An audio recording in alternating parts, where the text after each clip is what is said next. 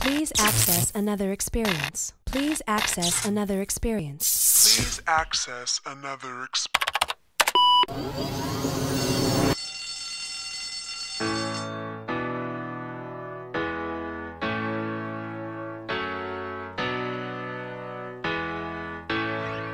It was 7:45 we were all line to meet the teacher, Miss Kathleen. First was Kevin, then came Lucy, third in line was me. All of us were ordinary compared to Cynthia Rose. She always stood in back of the line, a smile beneath her nose. Her favorite number was 20, and every single day. If you ask her what she had for breakfast, this is what she'd say. Starfish and coffee, maple syrup and jam, butterscotch clouds and a tangerine. Cause I had ordered a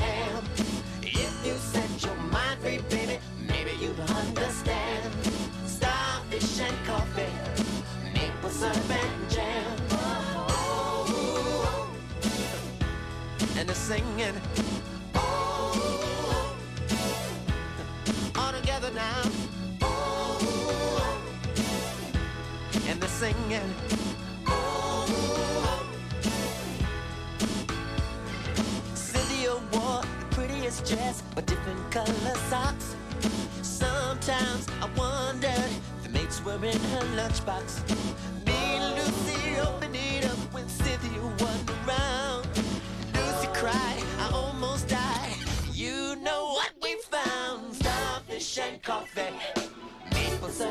And jam, butterscotch clouds and a tangerine. And I had ordered a ham. If you set your mind free, baby, maybe you'll understand. Starfish and coffee, maple syrup and jam. Oh, and they're singing. Oh, all together now. Oh,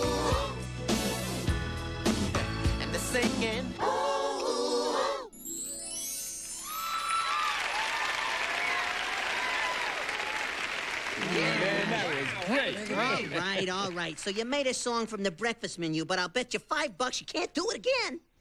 I'll take that bet. Yo, Seymour, Yeah, what's for dessert? raspberry sorbet.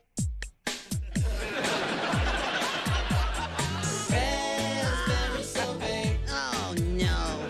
kind you find in a secondhand store. All right, all right. Here's your five bucks.